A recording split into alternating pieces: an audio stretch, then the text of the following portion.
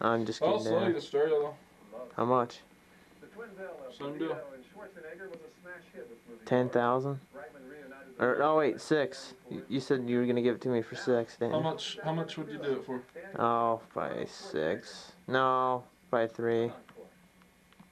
The following feature is rated That's all I have on me.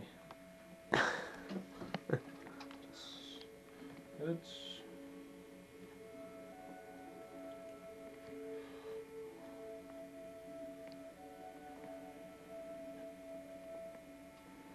I need to get rid of them. Yeah, it's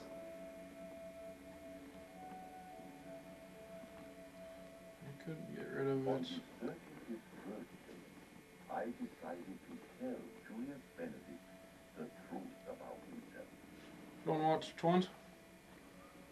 mm, I don't know. Julius already knew Um, I, I could. How about 35? No. Remember we did this before, Dan, and you you went and talked to that lady, and you decided you didn't want to sell it. mentally and spiritually advanced human being.